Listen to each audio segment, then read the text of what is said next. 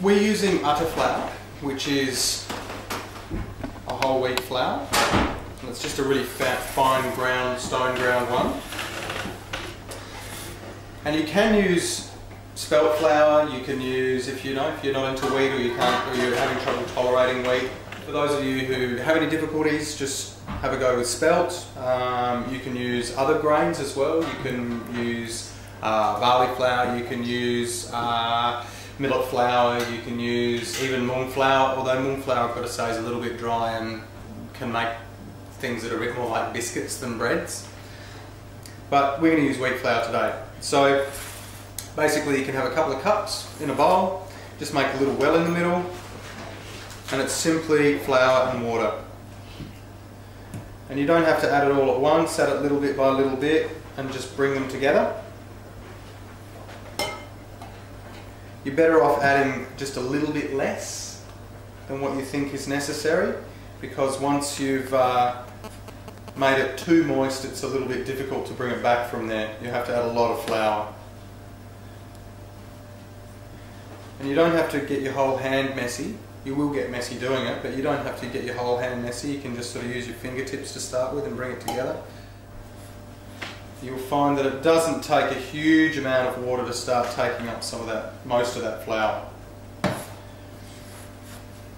And you'll go through a few different textures, but basically you want to reach the point where there's enough moisture to bring the flour together without it being too stiff or too dry. Now you can see here, it still looks quite dry, doesn't it? It's still pretty dry, but you don't want to add, you might add a little bit more than this, but you don't want to add too much more because as you work it, you can see that that's really quickly taking most of the flour off the rest, off the bowl. Mm -hmm. Here we are. So you can mop it up so there's very little flour left in the bowl. If you've got stuff on your fingers like this, you can just add it to the rest. My hands are nicely washed, by the way, everybody. and you can do this really easily. If you're, um, when it comes to breads, if you're only using a small amount, because um, you're only cooking chapatis for a couple of people, it's really, really quick. It takes very little time. Um, and if you go to the trouble of putting your soup on, um, or your sabji on, or whatever it is that you're having, if you're just having a dal, then you can get that cooking on the stove, as we have, and and in the meantime cook your breads, and by the time you finish your breads, it's perfect timing, the sabji or the soup's ready, good to go. And you can see how it's all come together into it. Obviously I can work it a little bit more and the more you work it, the more nice and smooth and elasticy and um, soft it'll become. But it's already reached a consistency where it's soft, yeah, it's nice and soft, but my hands don't stick to it and they don't take up gobs of dough, you know, it's not too sticky, so sticky that it sticks to my hands. That's the kind of consistency that you want. So it's soft, it's pliable, it's, it's easy to leave handprints in it when you grab it, yeah? You can, but it shouldn't be too tacky, like it shouldn't come away from the dough and stick to your hands at all. And you can just work that a little bit more. And as I say, if it's a little bit dry, you'll know because it's too stiff and you'll have trouble. It'll be hard, hard work kneading it. But if it's the right consistency, it should be quite soft, quite malleable, no problem to work it. And um, yeah, just try sticking to your hands. So Kes is now going to show you how to roll a chapati and we'll get a pan going. More or less, anyway. so first of all, just got to make balls. I like doing mine walnutty golf bally sort of size. Stephen does his a bit smaller. Are you saying, Kester, that your balls are bigger than mine?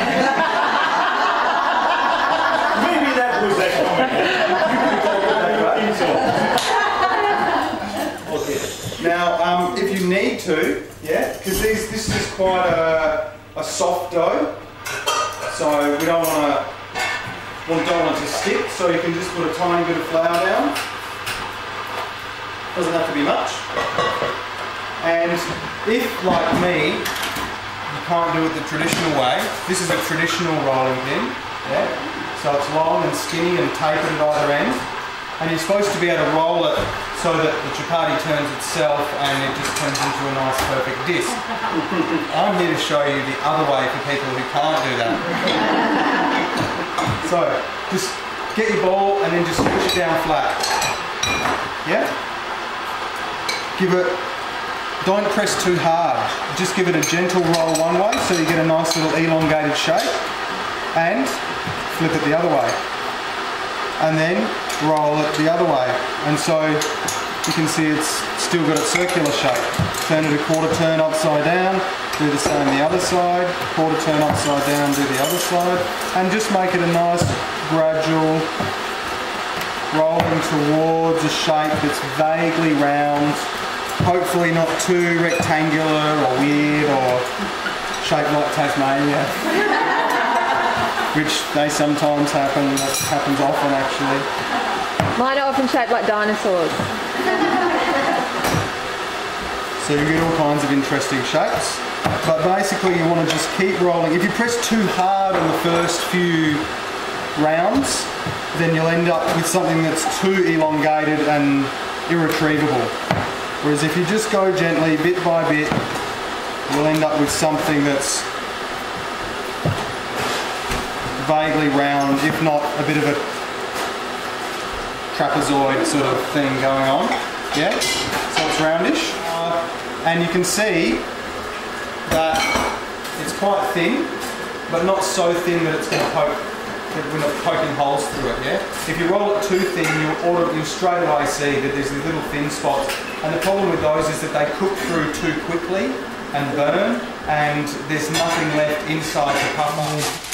So if you can see here, it's already starting to get little bubbles around the outside here.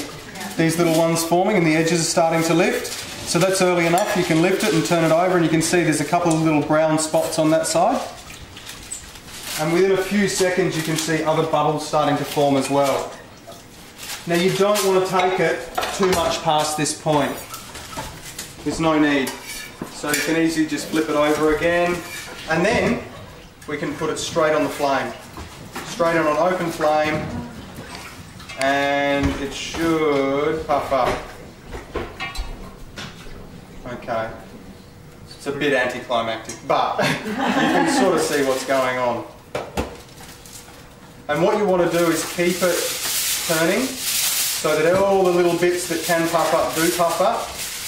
And you shouldn't have too many burnt bits, you can have a few little brown spots, but there shouldn't be any uh, undercoloured parts. It should all go a nice even colour. And again, flip it. Onto the foot, onto there, and the ghee on it. Somebody put the ghee on. Good job. Well done. Whoa, we had a puffer. Oh, here goes another one. Oh, Thank you for the one. Another puffer. Woo! We have puffing chapatis. Hey.